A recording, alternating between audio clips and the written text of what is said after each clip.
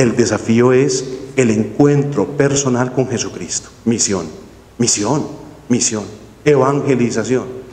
Si la liturgia es cumbre, es porque fue, estuvo adornada de un proceso en el cual usted garantizó que cada persona se encontrara particularmente con Cristo y se sintiera salvada. Sin eso lo demás serán carteleras. Desafío entonces, fíjense esto en la Eucaristía. Entonces la misa de 15. La niña expone con el padre, luego la niña toma del altar la forma y luego la niña se la lleva muy piadosamente a sus papás. Esto lo puso un laico, no un cura en Facebook, un laico. Y dice el laico, que tu sacerdote celebre la misa como es, no como él quiere que sea, no más abusos en la liturgia.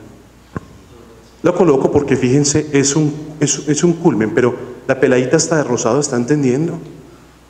Está entendiendo que ese hecho crístico de la Eucaristía la insertó en un proceso totalizante de comunión y de misterio. Ya está feliz ahí dando comuniones. Entonces el proceso no es que la misa de 15 sea linda, sino que ella hubiera sido una discípula.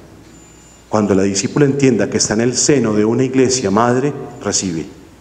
No se abroga el derecho de dar, recibe, recibe.